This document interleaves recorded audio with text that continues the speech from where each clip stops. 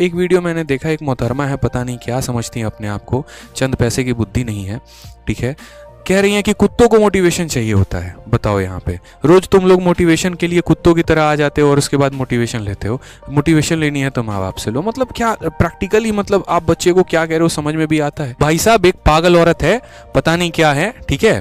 ये कहती हैं कि आज तक इनका पढ़ाया कोई बच्चा सिलेक्टेड नहीं हुआ। इतनी सेंस है have a common sense just watch the interview I have taken all India rank 11 interview do you have any sense home to are talking about do you have any sense literally कि बच्चे पढ़ते वहीं पर हैं जहाँ पर selection होता है। आज मेरे स्टूडेंट भारत में हर इंस्टीट्यूट में हर जगह पर कोई थाने में बैठा है, कोई किसी दफ्तर में बैठा है और पढ़ रहा है।